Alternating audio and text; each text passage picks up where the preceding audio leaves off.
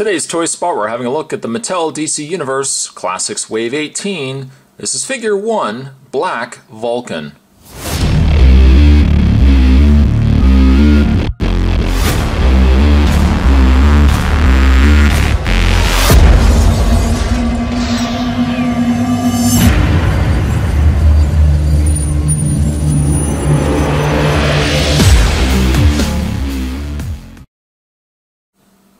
Vulcan looks to be including the left leg of Apache Chief.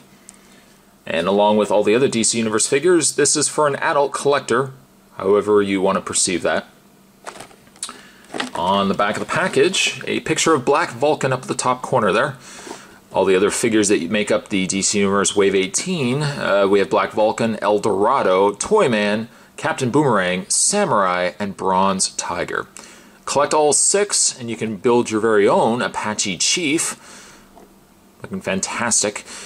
As for the biography, a devoted member of the Super Friends, Black Vulcan's courage and character are undeniable. Although he keeps his identity and personal life to himself, he is trusted implicitly, by his teammates.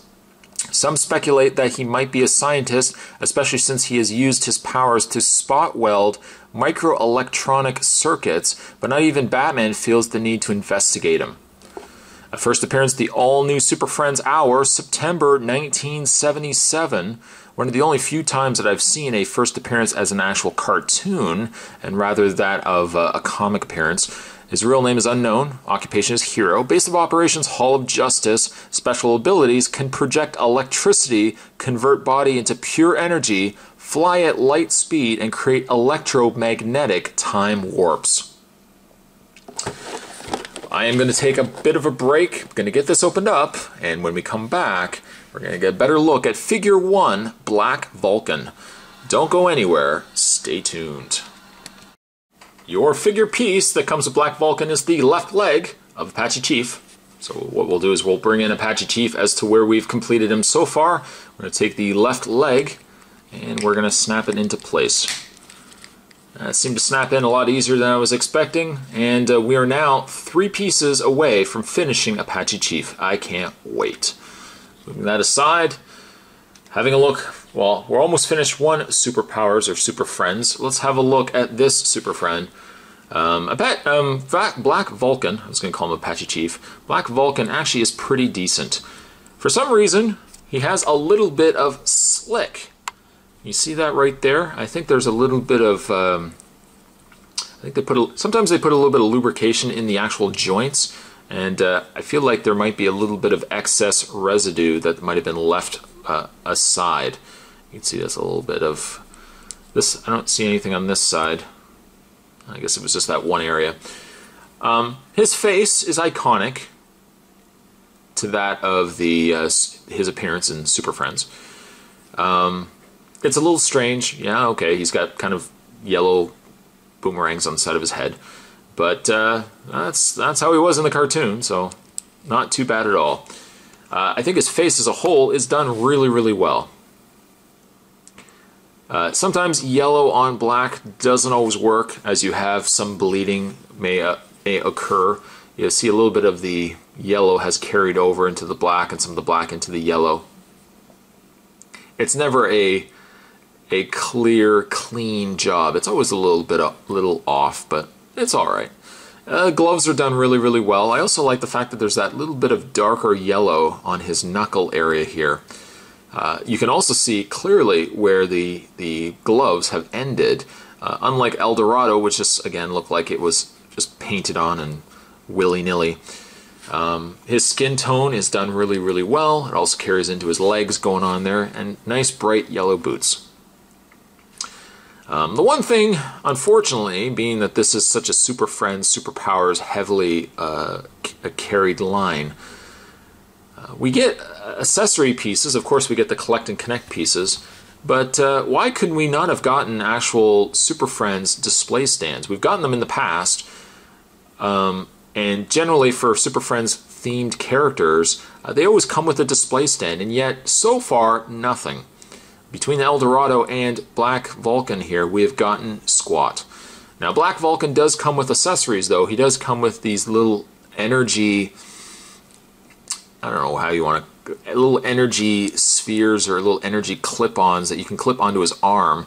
Um, I believe they are carried over from the blue and red Supermen that also had these respectively. Um, kind of give, of course, just a little bit of added uh, ele electricity to having your Black Vulcan displayed. I think that it works rather well, and having something like these reused is not a big deal. I mean, obviously, there's a lot of characters that could utilize that. But really, display stand. Hello, display stand would have been nice. It would have been nice indeed. I'm just taking these off. These are a soft rubber, and actually they feel even softer than the ones that were included with Superman, or with the Superman.